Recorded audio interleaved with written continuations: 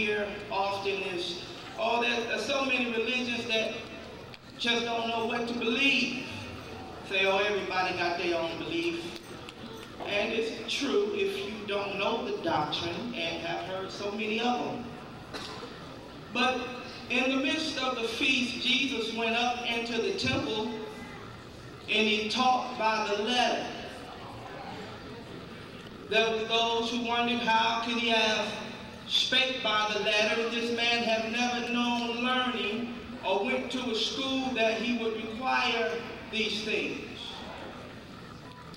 But in John the seventh chapter, 16, 17, and 18, Jesus said, My doctrine is not mine, but he is who sent me. If any man will do his will, he shall know the doctrine, whether it be of God or whether I speak of myself. If any man speak of himself, he seeketh his own glory, but he that seeketh his glory, the same is true, and no unrighteousness is in him. So I tell them that, to know that they may know that the doctrine they hear me speak is of God, and I speak it to the glory and the righteousness of God, and not myself. Acts 2.42 says, And they continued steadfastly in the apostles' doctrine, and in fellowship, and in breaking of bread, and in prayers. It is safe to say the apostles' doctrine because the doctrine that they taught, they learned from Jesus. And it is not their doctrine as though they got it of themselves, but God gave it to them. And it is their doctrine because Jesus said, What I tell you in the ear, speak ye in darkness. So when I tell you something in darkness, I want you to speak it in the light. And said, if you reject or receive whom I sent, you receive me who sent them. And he said, if you receive me, you receive the Father. And it's just the opposite. If you reject God, whom he has sent, you reject God and his doctrine. Romans 6, 17, but God be thanked that ye were the servants of sin, but ye have obeyed from the heart that form of doctrine which was delivered you. So you that were sinners and have heard the gospel, have believed, and in the which have obeyed, and this we give thanks.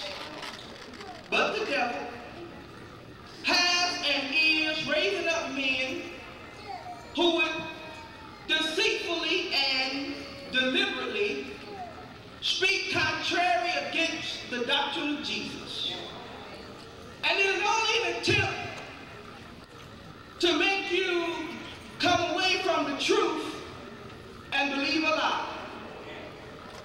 Paul said in Romans the 16th chapter, 17, 18, and 19, Now I beseech you, brethren, mark them which cause divisions and offenses contrary to the doctrine which ye have learned, and avoid them. Mark them. Look out. Beware. Be attentive of.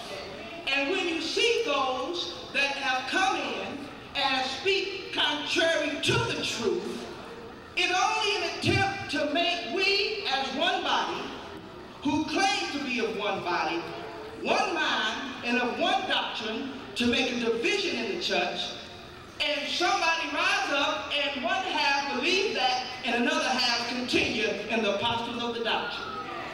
But then you got a division and a split in the church. But Jesus said, mock them and avoid them.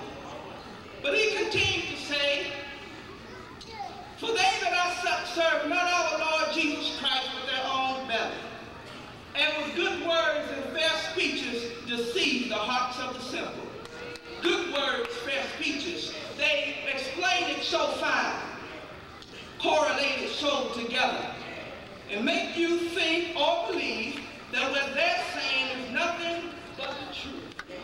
But Paul said, Christ has called me to preach the gospel not with wisdom of words, lest the cross of Christ should be made of none effect. In other words, I'm not coming adding and taking away. I'm not coming with the words or the wisdom of men to make you think something that is not true. But I'm coming unadulterated, the untampered with gospel of Jesus Christ. And I preach under the demonstration and the simplicity of the gospel. Come saying one thing, then say another. You confuse them. You keep it like it is and walk the straight line. But he continued to say, for your obedience is come abroad unto all men. I am glad therefore on your behalf. But yet I would have you wise unto that which is good and simple concerning evil. In other words, you have obeyed. I'm glad for you. But I would not have you to be ignorant, but I would give you the knowledge of, make you to understand, make you see and know not only those things that are good, but those things that are evil, so when they come, you won't fall by it. Galatians chapter 1, verses 6, 7, and 8. I marvel that ye are so soon removed from him that called you into the grace of Christ unto another gospel, which is not another. But there be some that trouble you and would pervert the gospel of Christ. But though we or an angel from heaven preach any other gospel unto you than that which we have preached unto you, let him be accursed. I marvel I am very surprised that you who have walked in the gospel, stood in the commandments of God, have known his instructions, and have heard the doctrine of another man, and have turned from the truth, and have went to a lie. But there be some that trouble you and pervert it. In other words, they trouble you and they change it. When you go adding to God's word, then already you take away from what it really is but they trouble you. But though we, if anybody say anything different than what we have said, let them be accursed. Even if God's angel from Shekinah glory come down and say something different, let him be accursed. He can say that so surely because he spake the word of God. But take note to this. He said, though we or an angel. He's saying, if even we, the apostles, who have spoke the truth, should by any chance turn and speak a lie, even let us, the apostles, be accursed. If we say something different than what Jesus has said. But I'll leave you with this. Ephesians 4 14. Let us henceforth be no more children, tossed to and fro, and carried about with every wind of doctrine, by the sleight of men and cunning craftiness, who lie in wait to deceive.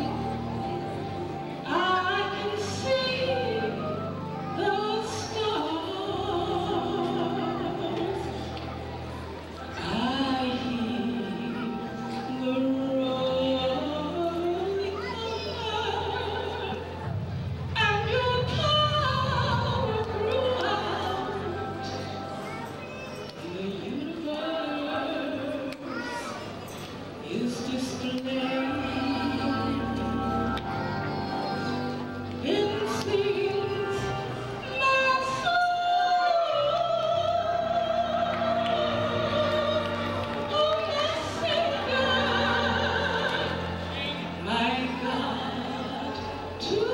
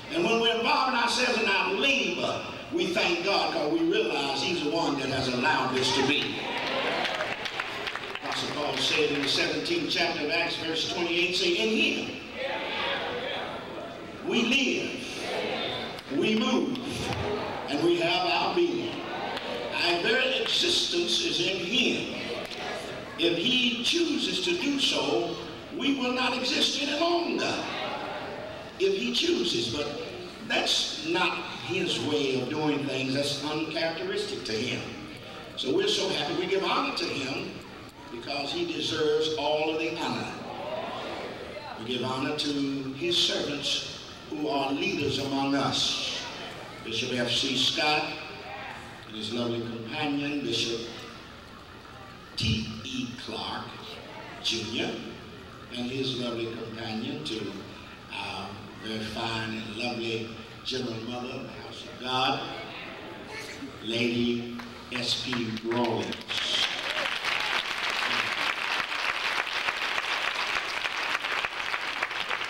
I do want to take this time before I forget it. We had one of the loveliest dinners, loveliest cookouts that I have ever participated in on Wednesday afternoon. General mother invited, I thought she was inviting executive officers. And then I heard her say the district officers. And somewhere along the way, she was walking throughout the complex here, and she said, uh, state officials. And when we arrived there, those were there along with many others. There were those who were officials, those who were not officials, and those who didn't even know where they were. But you should have witnessed a beautiful dinner, and the menu was delightful. It was delicious. Folk were eating to their satisfaction. Folk were taking doggy bags home. Folks were asking for carry-out service. And folks were eating quite a bit. And she would come around, and some of the staff people who she had delegated to work with her in her lovely home, they would come constantly asking you, do you have enough? And I couldn't understand how they could continuously say that when I was seeing so much being devoured. You know what they kept saying? There's plenty more. I couldn't understand that. And I said, well, maybe Jesus has come among us and pulled one of those capers that he pulled on the hillside. You know, when the young fella had the basket, you remember that?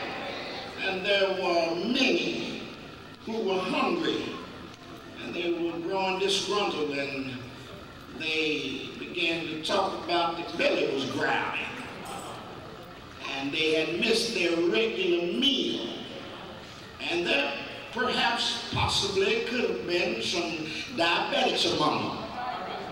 See, we've missed our schedule, we haven't had our snack. And it was made known to Jesus, and Jesus asked them to just calm down. We'll take care of you. And someone brought it to his attention there was a lad there. I don't know how many, how many had five loaves of bread and two little fish. Now, you don't expect to do much with five loaves of bread and two little fish with 5,000 beside women and children. Is that right? But uh, it was accomplished. Everybody was accommodated. And everybody went away satisfied. I have not ever found in the record of history or in the scripture itself or the Holy Writ where anybody complained say they didn't feed me. Everybody was fed. And that was a similar thing yesterday on a smaller scale. I know there had to have been well over 200 people who showed up there and everybody ate well. And again, I would like to thank our General Mother. She cares for us. She cares for us. She cares for us. Thank you, Lord, so much. Thank you. And your staff, they were the most lovely young people. They, they displayed a demeanor. You know, sometimes folk will give you something, but the attitude they give it to you make you don't feel like receiving it. But the way they they were smiling and folks were giving demands like they was paying $50 a meal. I don't drink this kind. I, I drink diet. I don't drink regular. Well, I want this. I don't take that back. I don't want it. But they kept a smile. And they would come back later and say, is anything else you'd like to have? I said, boy, these people are remarkable. And I thought that I would make mention of that. Bishop Woods said, don't forget to make mention of that. So Bishop Woods' mission accomplished. And uh, so Bishop Woods is a great reminder. I don't know, he's a great reminder. Anything needs to be done, he will nudge you. He will get your attention. He'll even do sign language. In some way or the other, he will manage to get a message to you, something that needs to be done just in case you're going to allow it to slip by. Now, that's good to have. And we are very appreciative to uh, Bishop Woods for reminding us because I was just so full of joy and full of steak, and full of chicken, and, and good old rolls and, and salad and all that stuff, and good old diet Pepsi. Till uh, I didn't, I couldn't get any cake though, brother. They wouldn't let me have it, and they had all kinds of stuff. But they wouldn't let me have any cake, so you know, so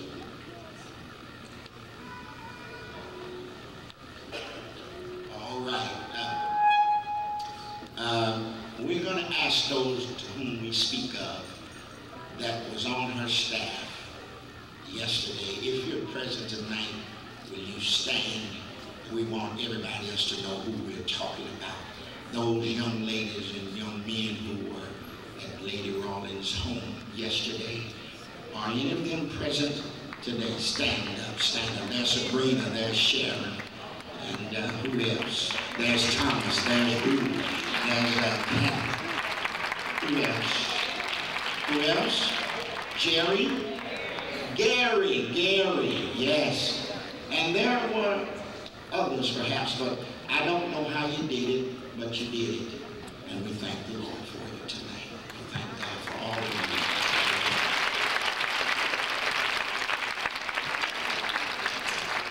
you. We have several things to do tonight, and then we're going to speak to you. But really, I, I, I tell you this of the truth. I cannot say anything that has not already been said in this congregation. These preachers who have gone before us this week have thoroughly given to us the Word of God.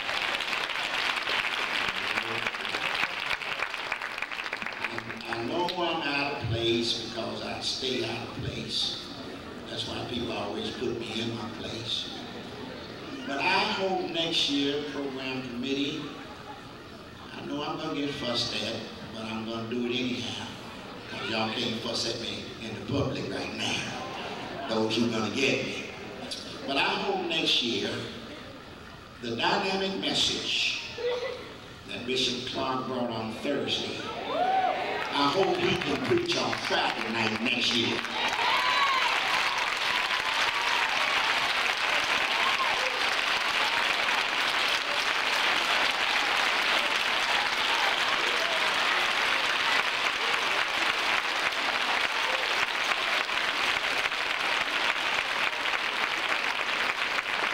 all of you that wasn't present, you missed a message directly from God. And it is my great pleasure next year to surrender my spot. Because him and I, we're harness partners anyway. See, we're in the same harness, pulling the same wagon. And see, God is saying to us, G and H. Sometimes God wants me to go to the right, sometimes he's telling Tom Clark go to the left. But we're pulling together. So it ain't nothing I'm sacrificing. I don't care nothing about no offering that much that I can't feel like what needs to be done for the betterment of the church. It is worth the sacrifice. I want the program committee to strongly consider that. Bishop Thomas Clark speak on Friday night in our 79th convocation. Amen. He's a dynamic speaker. He's a wonderful man. He's astute. Anybody's got any sense at all, you wouldn't be ashamed of him wherever he would represent you. Wherever he would represent you. So that, that's not desire. That's not desire. We have some ladies here called the Ladies in Blue. And they come to me sometime ago and say, Bishop, we want to support you. Now, they're not elect ladies. This is a separate entity themselves. Want to be where I am. Is that all right? Ain't no harm to want to be where somebody is. Is that right? And uh, they are the ladies in blue. That's the name that they have. I don't know them myself. But I do want to recognize them tonight. And I do want to have them prayed for. And I think Sister Hattie Dinkins of Cleveland, Ohio, and whomever else works with her, whoever else, I, I don't know what I'm doing about this language stuff. But anyway, we want her and the ladies in blue to come at this time, and we're going to pronounce the blessings of the Lord upon them. Can we give the ladies in blue, or the ladies of blue, ladies in blue?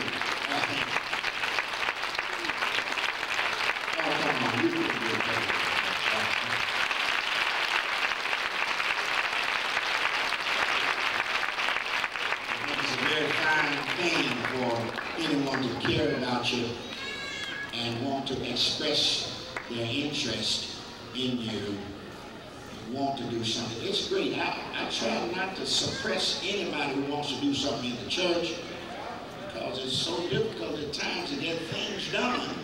And you better take heed when somebody wants to do something, let them do it. And if they didn't do it right, you just tell them after it's all over. Well, they didn't quite like it like that, but let them do it. Amen. These are the ladies in blue. Isn't this wonderful? None of them are elect ladies.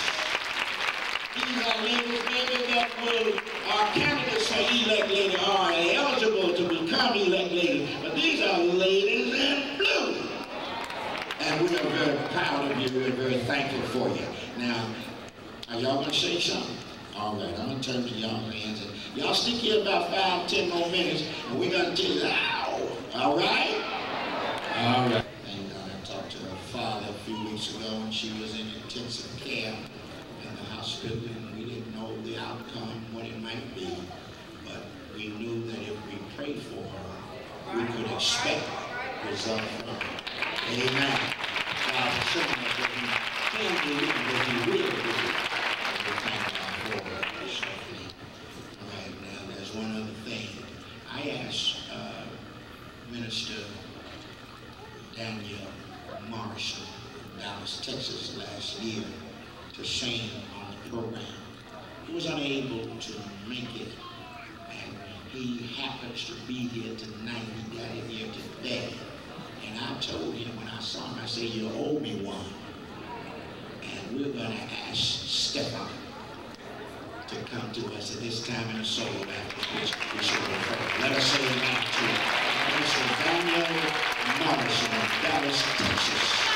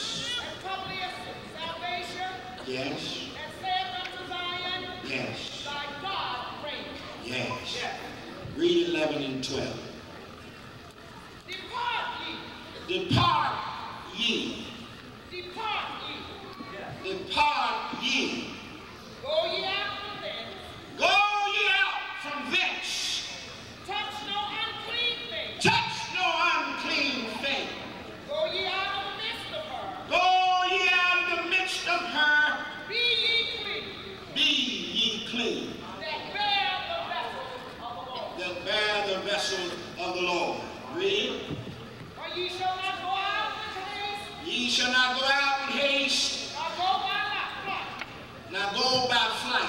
For the Lord will go before you. For the Lord will go before you. And the God of Israel. And the God of Israel. Will be your reward. Will be your reward. I don't know thank you. I don't know where the term comes from. I hear them talk about ebonics I hear them speak of shout vernacular. Yeah, they speak of we're in the 90s. But there's a term that is often used, and it is, I got your back. Y'all heard that?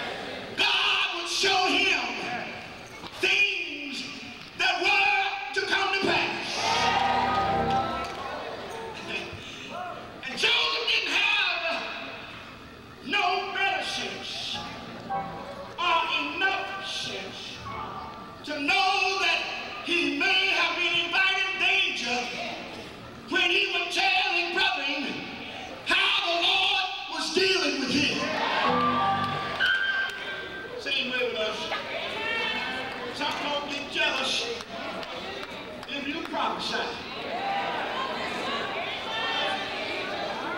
folks get jealous.